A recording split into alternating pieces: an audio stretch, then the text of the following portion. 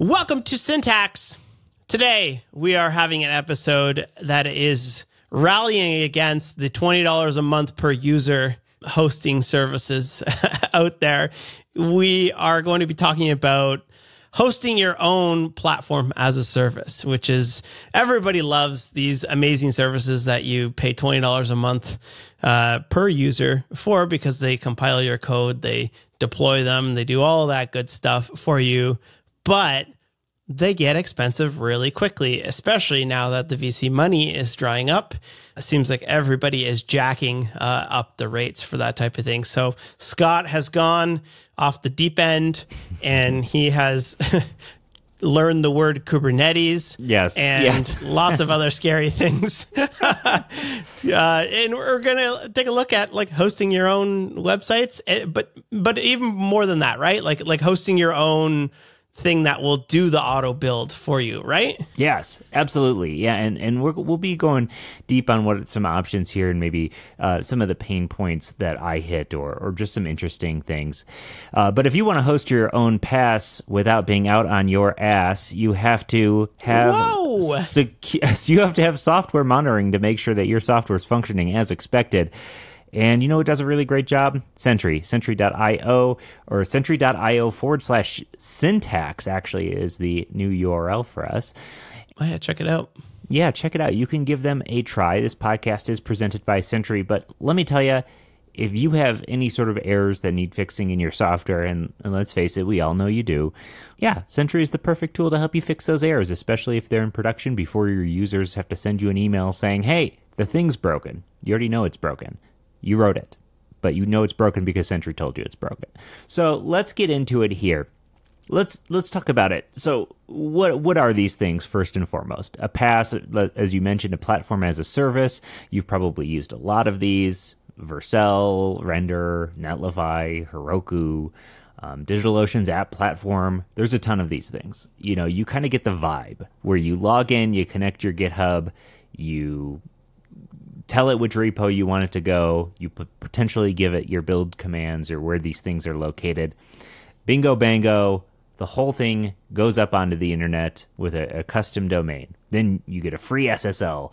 You, you you connect your DNS records to it. You have your environmental variables in your groups, and then you have a website online. You didn't have to do anything yeah. set up to do that. You didn't have to manage your Nginx server uh, or Nginx. Is Nginx a server? Is that a correct way to say that, Wes? Yeah, yeah. Nginx is a, a web server that will handle incoming requests and do SSL certificates. And you're not, Nginx doesn't actually run your code, it will pass it through to your actual your your application's web server but nginx or caddy or apache sits in front of your application to handling requests. We've done a couple shows on it as well.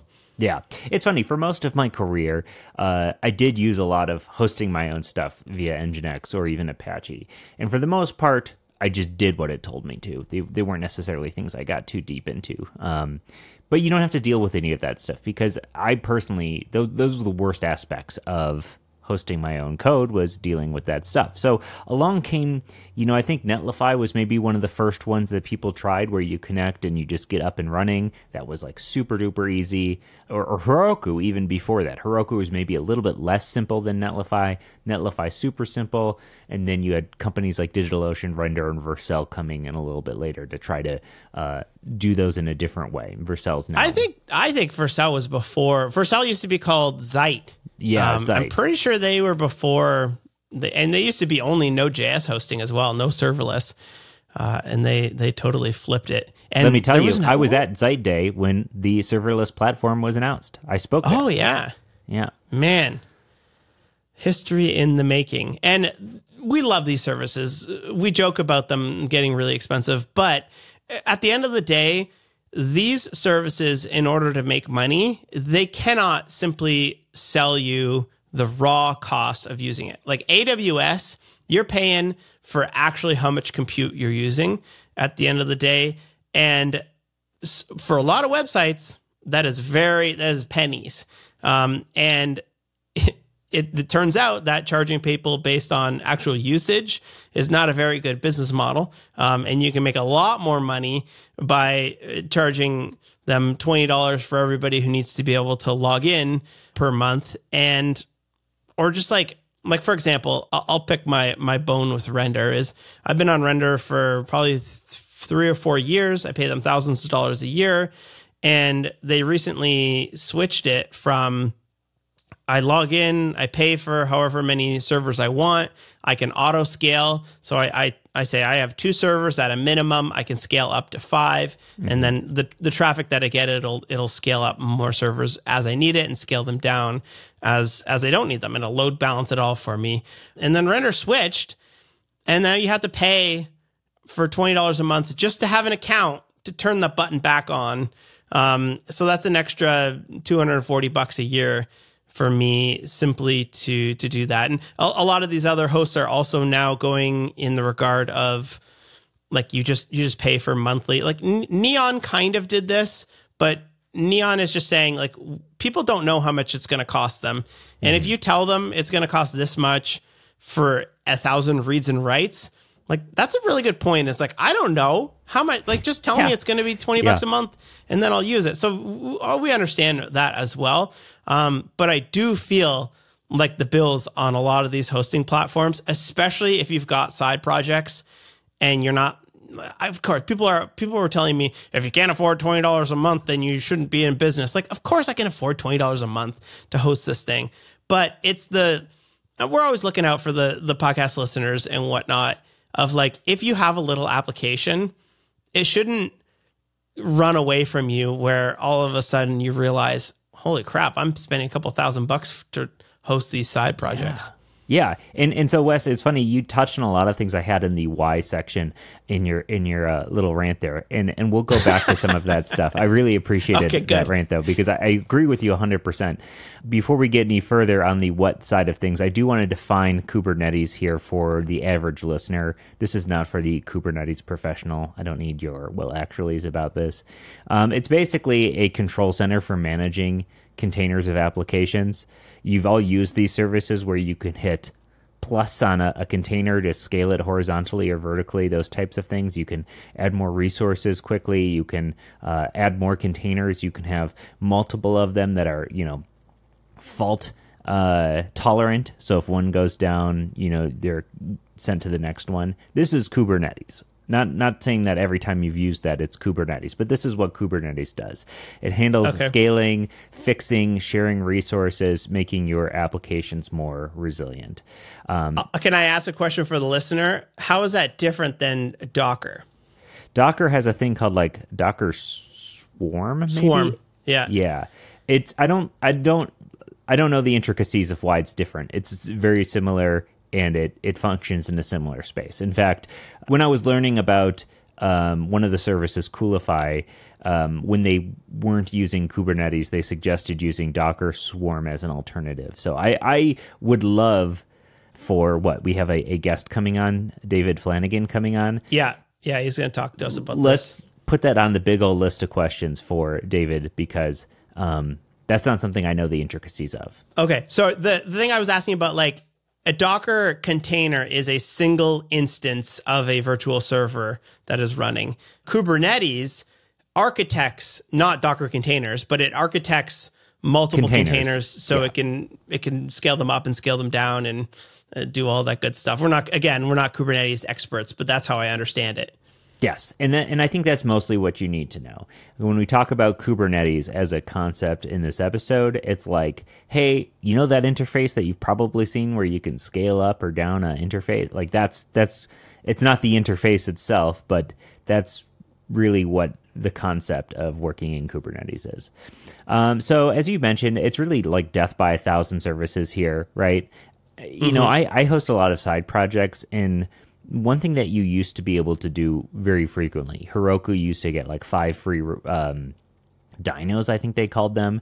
Uh, many of these services, Meteor, when it launched, had a free like hobby hosting plan. It used to be free to throw up a node server somewhere and not have great performance or anything, but just as a proof of concept. But obviously, just like a lot of things, crypto miners have ruined that experience for most of us. So we no longer have that many uh, places where we can just go quickly throw up side projects. And many of you are left with maybe paying seven bucks a month or something for a node server for some side project that you don't even care about you just want online and and and so to me like you've mentioned like yeah you could toss these things on you know pay per usage situations but sometimes you just want a server to dump a bunch of stuff on you know uh, and you want it to be able to be performant and work well and actually you know be much Yeah. cheaper yeah I, I miss the days of I still have a PHP server. I, I was laughing the other day is that I have a, a Bluehost PHP server and I'm not hosting any of my own projects. I have my dad's website, a couple of his clients, my wife's website, and I was like, man, I at at the at the time at the the height of my WordPress days, I was freaking running like 40 apps on a single like Same. six dollar a month PHP server, and that was the best. You know, you just throw it up there, and even for like lo- the longevity of the web, like uh, people say, "Oh, just throw it on Netlify or whatever." And I love Netlify, but the time will come when Netlify realizes Yeah. we need to make more money. And what are they going to do? They're going to say, we're making some changes to our free tier. And the, this is the way that it happens. This happens at all of the places. This is how these companies get people onboarded is they have VC money. They give away lots of free services. Everybody gets it on there. And then they pull the rug out from under you. Yeah. Yeah, yeah, yeah, and absolutely. I think that is a big concern here, and, and I think one of the things you even mentioned about like WordPress hosting, right? We all host WordPress sites, and and maybe some of you want, right? Maybe you're all working on application development, but I still host WordPress sites, and if people ask me where's the best place to host a WordPress site, I don't know, like uh, Bluehost. I know you hate Bluehost. It's not but, like, Bluehost. don't, don't use Bluehost. No. I know. I said Bluehost because I knew it would uh, get a reaction out of you. You know what? Uh. I went to one of your old videos because the Syntax YouTube channel. You should subscribe. I was like, I was like, well, I wonder what, like, what are some old videos on this thing? Because it, it's the the we changed the level up tutorials YouTube channel to Syntax one. So I went back to like one of the very first YouTube channel, and it's little Scott saying, Oh, yeah. "Hey guys, uh, you could get a Bluehost for three bucks a month. That was the Yeah. price way back Yeah, then." it, it was it was not only that cheap, but they paid me a hundred dollars Yeah, per mention per sign up. I made bank on the Bluehost referrals for many Made years. bank on it. Yes, Yeah. I know. And, and honestly, I did host a lot of stuff on Bluehost, so it's not like I was just hucking it. Um, but Yeah, me too. either way, you know, like you want to host a WordPress site real quick for friends and family, they need something. What are you going to tell them to do? Pay pay seven bucks a month, pay fourteen bucks a month, or you can get a one click install with some of these services. And and so we'll be talking a little bit about some of these services in just a second here. So uh, maybe hold on hold on your horses just a little bit. But in in reality, your app shouldn't have to be bringing in money if you just want to throw up a side project and, and I think some of the people who might hear this, like hosting your own stuff on your own virtual private server, but I, I like all my my things, my um, SSL certificate stuff. I like my um, auto deploy on commits. I The like build my pipeline. preview URLs and stuff like that. Well, check it out. A lot of these services do exactly that. Some of which do so in a very nice UI, some of which do so just on the command line, or some of them just through configuration files. But you can get the Netlify experience for anything Node apps, WordPress. Like, think about it this way you could have your own server. You could do a one-click spin up an AppWrite, a PocketBase, a Redis, a, a MySQL, all on your same server in just a couple of seconds, and connect to it private, privately under like one cost. Which to me, if I'm working on a bunch of projects, that's super compelling. Because why? Well, I might not want to pay whatever the extra service for a private service on render to host a redis service for my side project but i still want redis and i still want uh, a cache for it. Well now i can just add it to my already existing server under those same resources. And i think that's like a, a a very compelling reason to potentially add some of this stuff because if you do want to add any of these little services, it adds up. And even if it's free to start, you have no idea if it's going to remain free once you start adding things like this. Yeah, I, I don't know. I, I found it to be pretty compelling. And the thing I was scared about most was losing access to the, the niceties I had from those platform as a services. But it, it turns out that you can get all of that. And I will say off the jump, if you have any platform as a service that are either open source, paid, or the type of thing that you can host yourself, I'm interested in hearing about more of these because I have a list of several of these uh, Kubero, Coolify, Caprover, Dokku, Piku, Cuber, and Acorn. A bunch of words there, right? Ooh, they all sound like Pokemon. They do sound like Pokemon. Which of these sounds the most like Pokemon? Caprover Probably, or probably Dokku. Do- Piku? Do- Oh, Dokku? Piku. That's like a Star Wars thing. Piku, yeah, obviously Piku. Cuber sounds like a Mario. Cuber does sound like a Pokemon though too, and so does Kubero. Honestly, all of these could really pass Yeah, for Pokemon. Kubero sounds like the. Oh, dude, you Wes. got a Kubero? Wes, here is a game for our uh, live show: Pokemon or web service. Oh, I like that. Kubero. That's okay. All right, we're adding it. Uh, by the way, React Miami, we're going to be there. So maybe we should add that to React Miami. You should grab tickets to that right now, everybody. If you would like to play Pokemon or web service, uh, it could be a continuation of one of our fan favorites. Is a what is Yeah. it? What do we say? It's like a npm package or uh, a thing or both. Yeah, NPM package or uh, th- that was it. It was like, is this a carbon fiber road bike or a NPM package for maintaining dependencies? Yeah, that was that was a really funny one we did. We should do That's that one a- again. One of my favorite segments because writing it is just as fun as experiencing it with the audience. Um, okay, so let's get into these players. There, there's a huge Yeah. amount of variability in this world. Some of these contain UIs, some of them contain uh, just CLIs, some of them have paid add-ons. Yeah, so a lot here. Um, so these services that you're going to go through, these are not like a SST or a flight control, which is these are this is not software to deploy to AWS, or maybe it is actually. Um, these are just like like literally run your own server. It's not serverless. It's not scale up and down. It's just something that will you go and get a server somewhere, or like I'll walk into my server room and I have a uh, a little disk station Synology running there, right? Like I could install these on my Synology and literally host it in my house if I wanted to. Yes, absolutely. Okay. And in fact, there's there's a lot of people that do do that. But you can also just install these on a VPS somewhere. I've been seeing a lot of people talk about installing some of these on ARM. Seems to be like a big topic. Uh, There's not a lot of cloud ARM 64 hosts. Oh, like ARM? You mean like like the processor that's in the MacBooks and in Correct. Chromebooks and your phone probably. Some people are even offering hosting on a Mac specifically. I think it's like using Mac Minis or something. But That's usually pretty expensive. If you if you use GitHub um, GitHub Actions and you want it to run on a Mac, it's like ten times the cost. Yeah, and and I think that's why people are going with with ARM. What's interesting is that like Hetzner kind of seems to be the the cheapest, best option there, but I found them to be kind of awful to work on, and and you know a lot of people really like them. So I'm not I'm not talking trash about Hetzner, but as a American, it like literally asked for blood of my firstborn child to get signed up with a, a cloud account there. So, and I don't mean literally, liter- literally. I know that's a, a trigger for some people. Um, so you can host these things in a variety of places, of which can be very cheap. You can host them on a DigitalOcean droplet and get going in no time. Now, I'm still a little bitter about the CSS tricks thing, so I might be looking at other places to host. But a a, a shared ARM64 based CPU starts at four pounds a month. Four or no, those are euro. Sorry, that's the euro symbol. It starts at four euros Classic a month. American.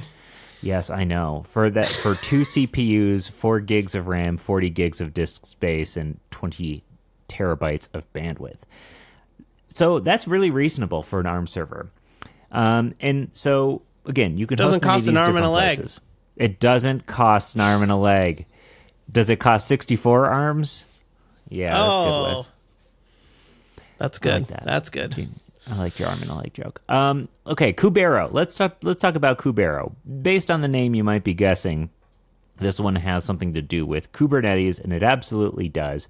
Uh, Kubero is basically a self-hosted Heroku alternative.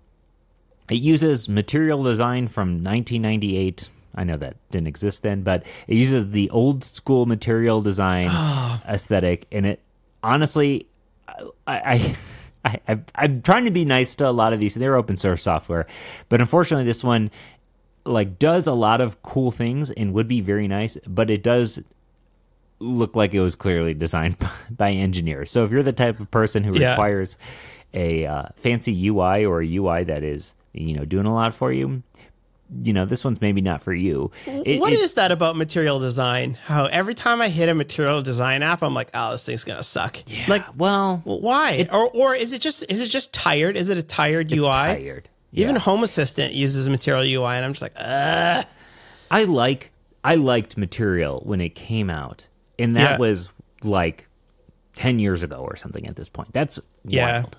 Uh, it came out a long time ago, and so I think that's really just it. Is it just looks old, and that's fine. But this this thing is really easy. There's like uh, really quick add-ons to get going with just about anything you want, and that's kind of the thing you're going to see from a lot of this stuff. Like if you want to spin up a RabbitMQ or a Redis or a MongoDB, it's like really super easy to do oh, so. so, you can throw your databases in there too. Bro, you can throw anything in here, and most of these have like one-click services to do so, um, which is fantastic.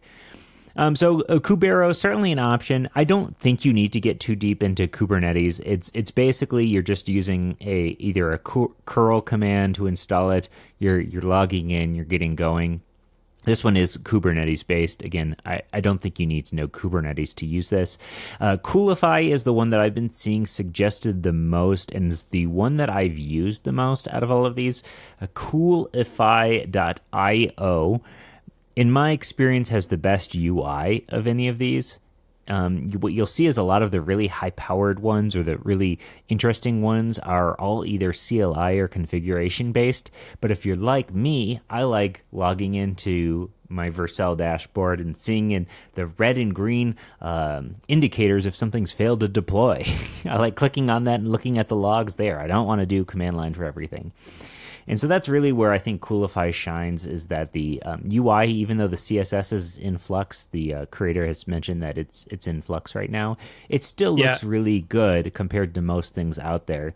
It feels modern, and for the most part, it feels like using a Vercel type of situation where, again, it's not like a serverless platform, but when you you connect your GitHub I have my GitHub connected. I then get to see all of my repos. I select the repo I want, I tell it my build command, I click go, and it has the exact same style of tabs interfaces. All right, you got your env variables right there. You got your build logs. You have automatic deployment on push. You have SSL and domains without having to do anything to set it up with. It like automatically gives you the SSL, just like any of these things. And most of these platforms will. Let me be clear about that but you do get that experience that you might be more used to with this. And I think the the thing that I really liked the most about it is that I was able to get up and running on a Coolify instance in Yeah. like 15 minutes or less. So I, I spun up a droplet on DigitalOcean. I ran I or I SSH'd in. I ran a curl command. I logged in. I created my account, connected my GitHub, deployed my site. Really, Oh, you, you take out half those steps and it's the same as any other platform as a service, right? and so Coolify, I'm just looking, they have a pricing page. This is something that they host themselves, or you can host it yourself. Yeah. Like- so I think there's it's, it would be like you're using render versus hosting render yourself. Okay. Okay. So if you do pay, basically, Coolify is the controls. Regardless of what you do, you bring your own servers. But Coolify is the controls for architecting and, and controlling your, your actual servers. And you can either run it, run the controls on their server for five bucks a month, or you can host the whole open source part of Coolify as well. Is that right? Yep. Yep. And yeah, what, and what the- are you are you paying for the controls, or did you actually install Coolify on the DigitalOcean droplet yourself? I installed Coolify on the droplet myself, and it, it Okay. was one. It was a one. It was a copy and paste uh, command. Hit enter and then log in. And then, but you sent me a URL that had Coolify in it. I, I thought, oh, he's paying for something here. Well, Yeah. How come the URL has Coolify in it? I don't know. I, They- I I've since moved that off of the uh, domain. Let me even check that because I I've assigned that an actual domain now. Let me even check what that domain was. It's probably doing some like um like tunneling, similar to how like an ngrok or Cloudflare tunnel works, where it, it gives you an external DNS and it knows how to tunnel to your actual server in case there's like a what's the word where network traffic can't get in. Why am I blanking on this? A firewall. firewall. in case there's a Firewall. firewall in the way. Yeah, firewall. We haven't heard that term in a long time. Yeah, I you know I, I don't know where it's getting the domain. I just clicked it to generate a generate a domain, which I probably shouldn't have done because I think it automatically saved that generated one. and um, what's interesting about it is it's it's like some weird generated string. Then my I, dot my IP address dot sslip dot io. So who knows what's going on there? But you know, once I I just copied and pasted my actual domain in there. I pointed my Cloudflare to it based on the DNS instructions I was given, and it just worked. So, you know, I didn't have a, um, I don't know. I had no issues getting up and running with my domain on it, or even just getting you that quick little domain, which connected again straight to to my box here. So yeah, I found Coolify to be really really nice, and and to give you like just a generalized idea. Man, if I want to spin up a WordPress site, for instance. I come into my Coolify, I select the project I want, I click New Resource, and then it gives me a big old list of resources to install. Do you want to install uh, MB on here? Do you want to install a Ghost blog? Do you want to install MySQL? Just click it, it deploys it, gives you a URL for it, and you can connect to it privately.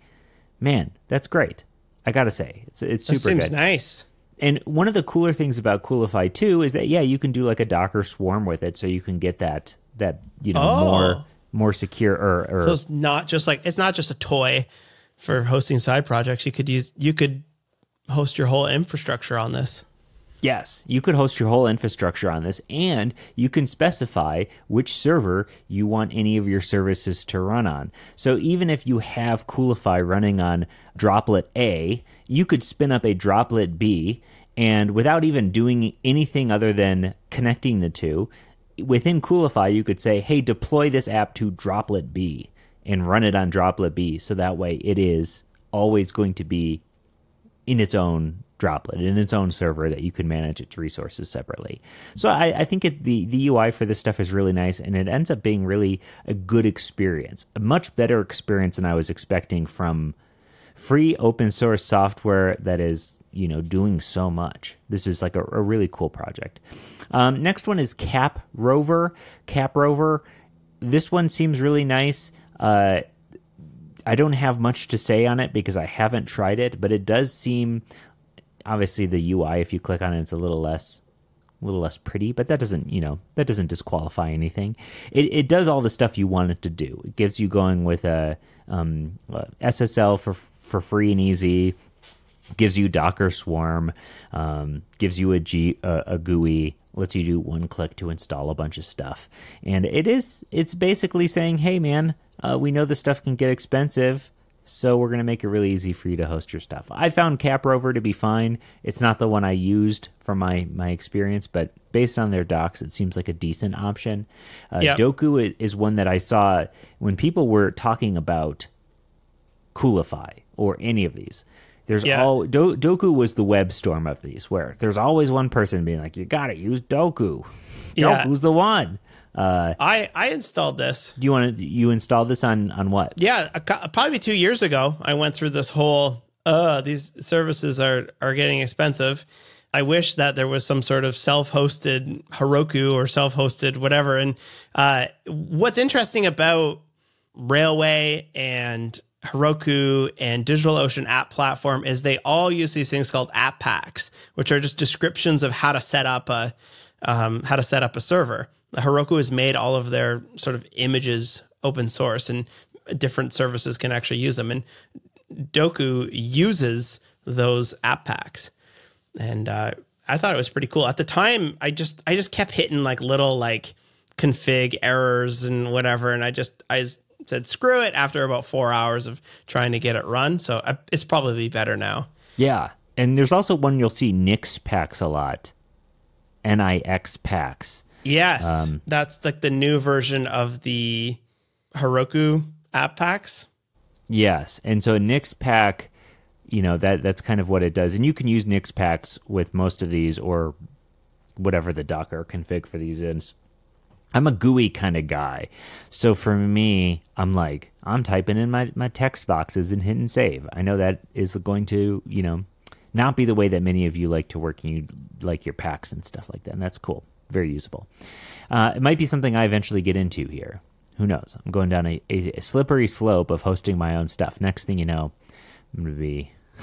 I'm going to be actually knowing what to do with Kubernetes.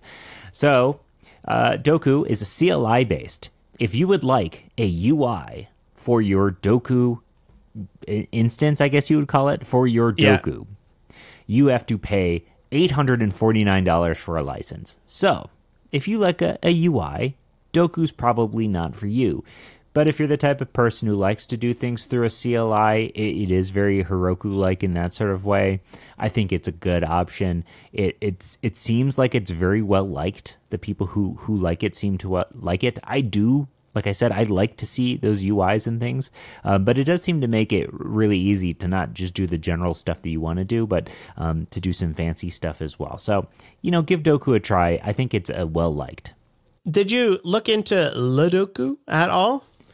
Ledokku. Ledokku. So because Dokku, it's probably Dokku if if we're thinking about it because it's Docker, right? Yeah. Um, maybe. Yeah. Like of, of course there's a CLI and there's APIs for interacting with it. So it looks like somebody wrote a uh, it hasn't been updated in 2 years.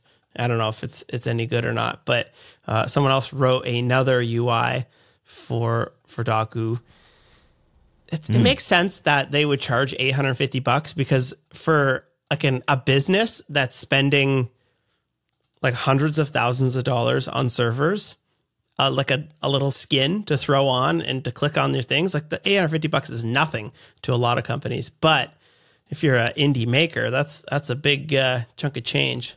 Especially if the point of doing this is to save money. That's it. Exactly. I, I think if you're the type of person who is getting deeper into this stuff and wants the most out of it, Dokku seems like a great option.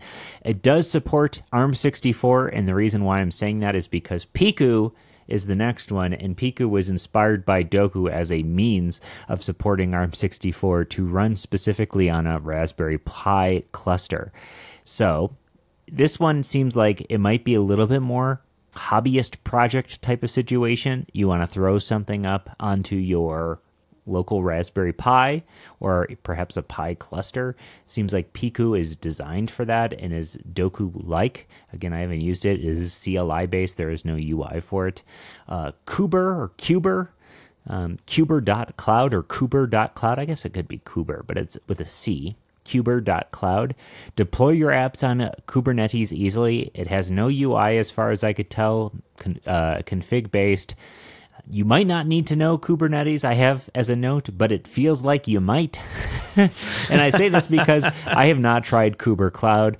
I you know, I, I didn't want to get too deep into Kubernetes. I wanted to know what it was. I wanted to get myself up and running, and I didn't want to turn this into a, oh boy, we're going to have to like really get deep into the weeds. But Cuber Cloud does look kind of nice. That said, the configuration does scare me a little bit. It does seem like the feature set for this thing is really good. And last but not least is Acorn. Acorn has a pretty website, but is uh, CLI based. There is no UI for it again, and their docs show you getting up and running with Python. You know, it, it it doesn't feel like the option that most people who are like just looking for a Netlify alternative will want to pick. So some of these, whether it is Cuber, Acorn, Dokku, Kubero, some of these feel like they might be for the more intense use case rather than Coolify, which seems like, oh, hey, I want to just get what I had going with uh, render.com going on my own DigitalOcean droplet. So if that's the type of person you are, which matches the type of person I am, you'll probably yeah. just say, hey, Coolify works for me. It's easy to get going, easy to install, works everywhere, and uh, is is pretty effortless. Sweet. Yeah, I'm gonna try throw this on my on my NAS, and I'm tr- trying to look at how to do it though, because like it's not a Docker image because it it can make Docker images, right? Well, we should have the creator of Coolify on here to talk yeah. a little bit. He's been uh, he and I have been chatting a bit on Twitter, and he's a really cool guy, and he really seems to love this project that he's working on. So I wonder if there's like a VM image I can install because I hit that with Home Assistant as well as I initially installed Home Assistant as a Docker image, but a lot of the good Home Assistant plugins are in themselves Docker images and you can't run a Docker in a Docker. So I had to switch my Home Assistant to running as a VM, and then the VM can then spawn many Docker images. Yeah. What a world. What a world. I'm going to go back to my variables in JavaScript. yeah, I know. And, and, and if you're out there, you know, you are an expert in this type of thing, or you have m- more questions, reach out to us. By by all accounts, I'm a hobbyist who just started experimenting with this stuff, and Wes has not used it. So this is what I have found. If you have contradictory information or have found better or different things, hit us up anywhere. We're we're happy to to have that discussion. In fact, we're going to be having David Flanagan on who does a lot of Kubernetes. I mean, that's like his thing. And if you have any questions about this stuff, by all means, let us know, and we'll try to get those in front of David, somebody who's actually an expert in this area that we can really ask all the questions to. So, again, the challenges here with hosting your own PaaS, platform as a service, getting things like high availability, you know, that you could get just by hucking some cash at a, a render server or something these things do require Kubernetes knowledge or one of these more intense services or getting into Docker Swarm. I don't even know what the higher availability picture is for Docker Storm or Swarm. I, I have no idea. I have not looked into it. So it's not as just as easy as logging in and clicking a button oftentimes. You might have to learn a little bit about Docker and Kubernetes. That is a concern. I have not had to get there yet, but I can see getting my foot in the door into this space as being like, yeah, you might potentially have to learn some of this stuff, yeah. at least to a little bit. You have to keep your server up to date still. You know, I don't know. Things have exploits. Linux has exploits or whatever comes up.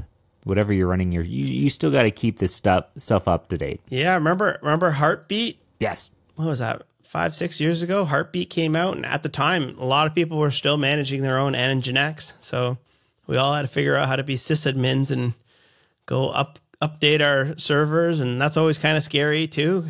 Updating so, anything with the database, definitely scary. And another thing is like if you want to run things on the edge, this is not for you. You know, um, this is tossing up side projects. This is potentially hosting your own cache servers or stuff. Running like on the edge of your bed, more like it. Yeah, I don't. I don't get Under that. What desk. you're trying to say there? Okay. Oh, like it's not like the, the opposite of the edge, which is high availability running in data centers close to the user. The opposite of that is a PC underneath your desk mm. or uh, on sitting on your laptop sitting on your bed that's serving yes. it out to the world. yes. Do not close this laptop. It runs the entire company. oh, that's apparently uh, just like a funny story is uh, GitHub Pages runs yes what's the the Ruby based thing that that runs on GitHub pages if you want to have like a site builder?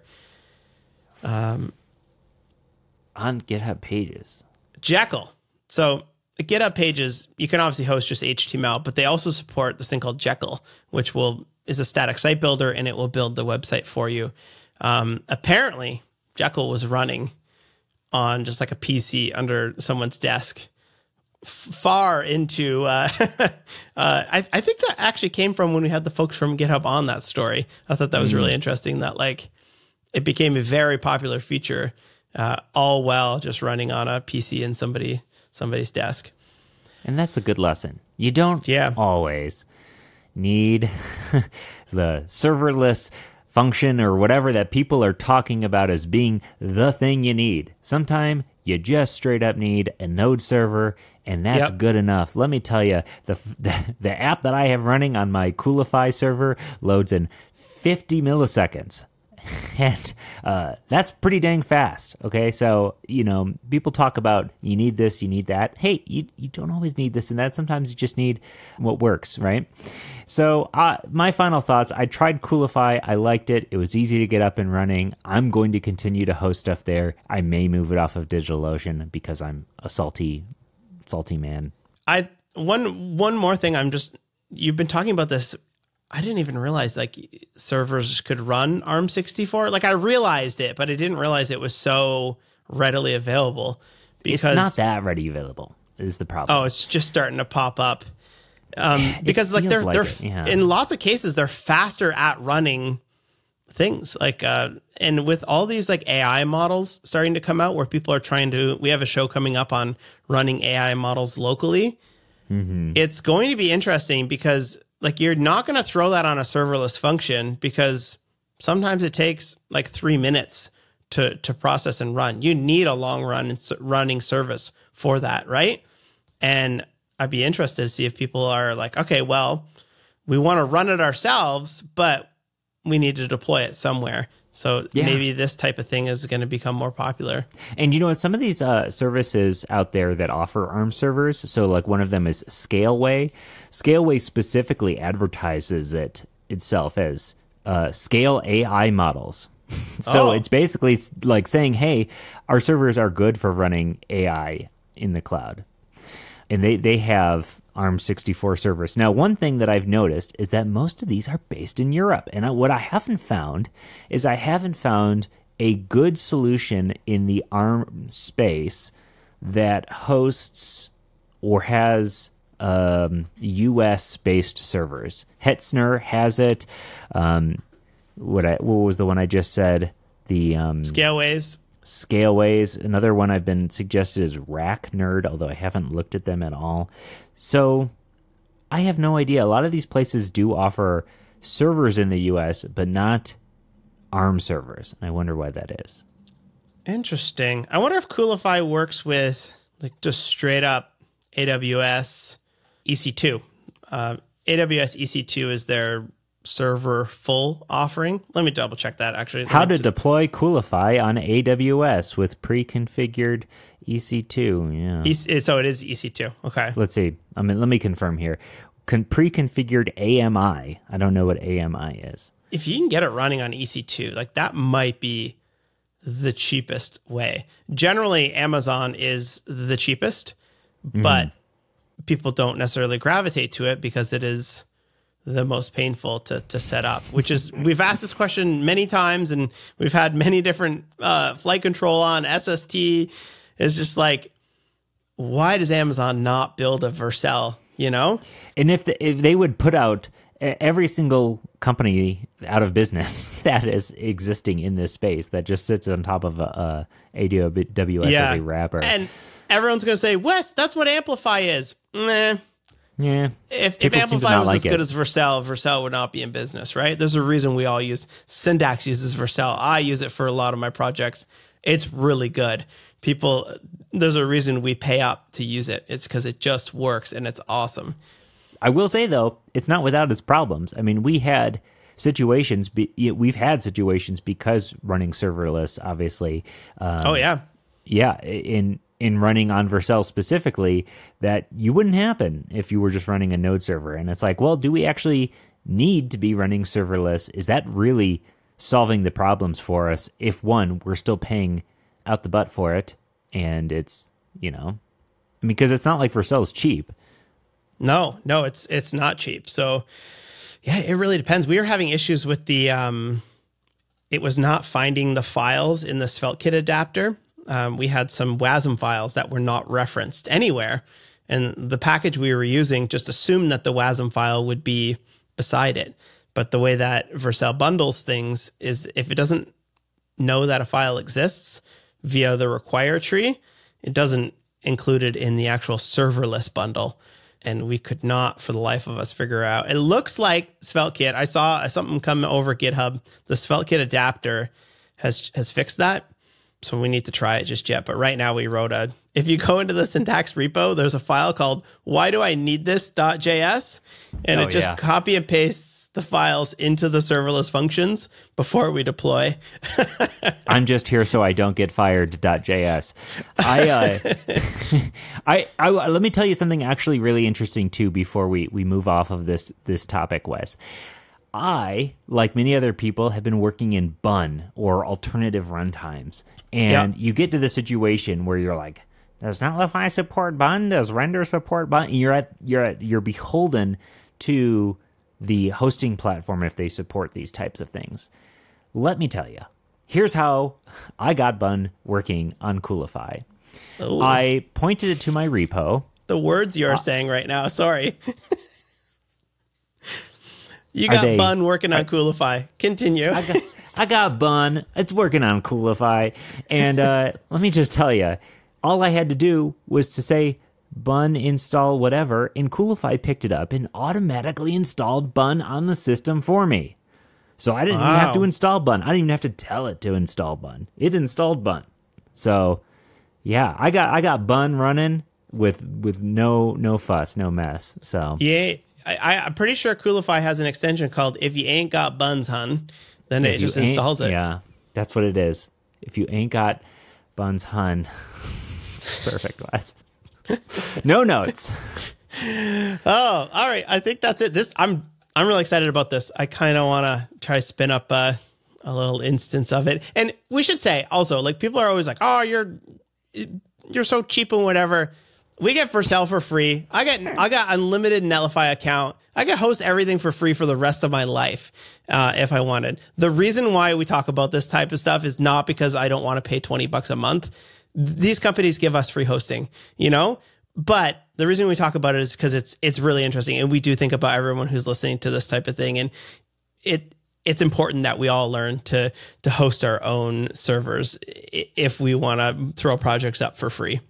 Yeah, and you might be out there hosting 15 WordPress sites for clients at X amount of bucks a pop when you could be using a service like this to do it much easier for you. So I mean, it's it, there's definitely a lot of situations where I, I think pe- developers get into this mode where, hey, I'm building this, so everybody must be building this. When in reality, we're all working on different kinds of stuff and different different types of projects. And I think it's important to realize, hey, if if it's not viable for you, that's okay. I just had the same discussion on on Twitter. In fact, I had to stop talking on Twitter because people are are wild about HTMX. We're like, I don't know. There's so many people that get so insecure about other tools. Like, bro, you don't have to use it. Nobody's telling you to use it. I'm just exploring this thing or talking about these ideas. It doesn't mean that all of the sudden these, I don't know. I, I asked what types of interactive things are you doing, and people had the wildest replies. They'd be like, "I need time travel debugging."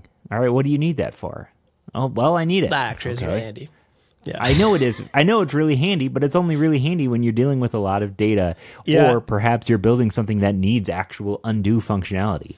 Uh, I- it's funny that you say that because I was before you joined, I was talking to Randy about the the Apple episode, and people let us know their their opinions on on Apple and, and the open web, and like, it's crazy that I was telling Randy how people get angry all the time at, at certain things, and if you talk about a certain piece of tech that's not the way they do it, then they get very angry, and it's. I think the, the biggest thing is that shows like an inexperienced developer is when someone cannot possibly foresee that people have different problems than they have. Yeah. They have different stack setups than they have. Like some people would say, "Oh yeah, like you could just use like a meta framework for absolutely everything." And like no, people have other some people still need GraphQL APIs because they they have many pieces of data coming in. Like there's so many different problems and so many different instances that need to be solved that you may not be even considering what that looks like. Yeah, I know, and I think if if we had Doctor uh, Tolinski on the show, I think she would diagnose it as just being insecure. Right? These people see something they don't know that much about. They're going to lash out about it because uh, they don't they don't know why other people need it because they don't need it. Who knows? Yeah. Or, or I, th- I also think it, people think it makes them look smart when they're really opinionated about something. Yeah. Some people really love to argue on Twitter. Yeah, it doesn't it doesn't smart. make you look smart. At, at least not to me. You know, like maybe for for beginners, it makes you look look really smart. And we've I've said this many times before. It's like you often see beginners have lots of opinions on things because it it, it makes it makes them look like they they know what they're talking about. But in reality, you just look like a jerk. A lot of times, Yeah. and and that's it's fine to have opinions, but there's there's a there's a line there. Yeah, yeah, you got to stay open minded. Um, I, I posted a link to a a hacker news that was posted 19 days ago, which is oddly enough, and says ditching PaaS why I went back to self hosting. Now I found this. Not only did I find the blog to be interesting, but I found the I linked to the comment section specifically. There's a lot of discussion around cost, actual cost, what people are using and what they aren't. It's full of typical hacker news nonsense where people are again arguing about the things. But I did find the whole thing to be just an interesting read if this is something you have interest in. And again, we're going to have David Flanagan on the show, who's an expert in, in Kubernetes stuff. So if you have any questions about deeper things here, let us know. We will pass them along to David because I'm sure we're very curious too. We're going to pick his brain. So that's it for this episode. Let's get into sick picks and uh, shameless plugs. Wes, do you have any sick picks? You bet. I got a really good one for you today. And can I can I go run and get it actually? You bet. Yes. Okay, one sec. Yeah, absolutely.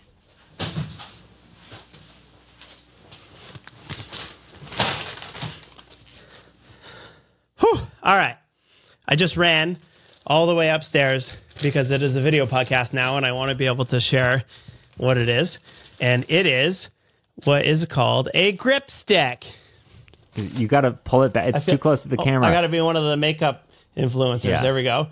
Uh, Grip so a grip stick is that doesn't sound right. the like I'm this is a scene on TV.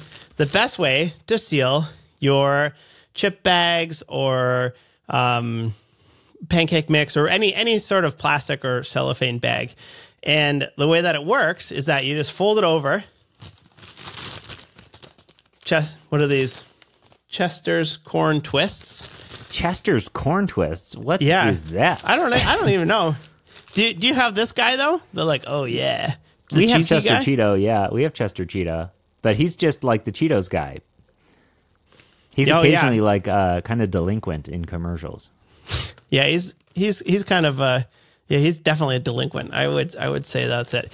But the way that works is chip clips. I hate chip clips. You know, you, you put the clip on, it falls off or whatever. Pain in the butt. So these things are called a grip stick, and you basically just make a a little um, crease and then zoop, and then it's airtight.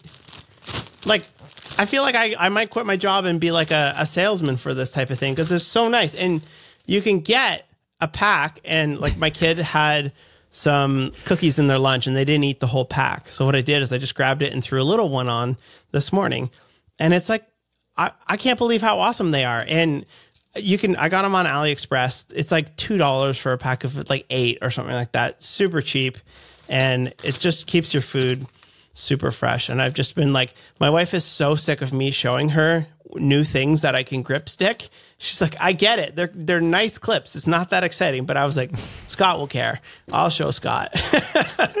And you know what, Wes? There, uh, you know, I'm, I've already opened the browser and started searching for them. Um, so, yeah, I care, and I, yeah, not only do I care, I'm gonna order some, and I definitely see the utility. I've always wondered to myself with chip clips, what are these doing besides making the stuff not fall out of the bag when you pick it up? Like they're not keeping it fresh just by folding over the bag or you know my, my it's not any better than just crinkling it up and rolling it up. It just man, what a what a nice little thing there you got there. yeah. Big fan Yeah. of this. Well, I don't, you know, I don't necessarily have anything super interesting, but you know, I will sick pick something that I, I have all over my house now that I've been I've probably sick pick this at least once before. And sometimes we do repeat sick picks. But I, I have been slowly but surely changing all of my light switches to be the Caseta. I have the the Diva, which is the one with the dimmer, and then the Claro, which is just the normal smart switch, or there's the accessory switch. I've been putting these things all over my house slowly but surely because they're expensive. So I'll buy one or two at a time, install it. I still have maybe I still probably have a third of the house to do still. But I love these smart switches. Opposed to like I've used smart bulbs in the past, whatever, but I have my home assistant, I have routine set up. My wife hates it because it shuts off the lights at the kitchen table at eight o'clock when she's sitting at the kitchen table sometimes. Uh, but I gotta say, um, having the dimmer everywhere, having these smart routines, it it doesn't get any better, and the software is fast. It's efficient. The biggest downside with any of these casetas, anything is is the price. So again, slowly but surely, or if you're doing a whole bunch at once and you have the cash to spend on it, I have found as far as all smart light switches go, the casetas really do seem to be the best. Yeah, I'm I'm a big fan of those ones as well. I have I probably have like eight different kinds of light switches because I've tried them all, and uh, by far the worst ones are the Wyze, unfortunately, which kills me because I love Wyze as a company, but they always always lose Wi-Fi, and I have a commercial level Wi-Fi setup at our house, so it's not Yeah, a Wi-Fi. Uh, so yeah, don't get the Wyze ones. Sick. Well, shameless plugs. I'm going to shamelessly plug the Syntax YouTube. We're posting, we're posting quite frequently, and we're going to continue to post there. I'm going to be putting out later today. It'll be very live by the time you hear this. A video on what it's like to code with the Vision Pro on. So Oh, if you're yeah. interested in in VR and coding, I have been using it daily. I did not want to take it off last night. Um, well, I, or yesterday, all day at work, I was coding with it on, except for when uh, Randy and I had our meeting. I took it off for that.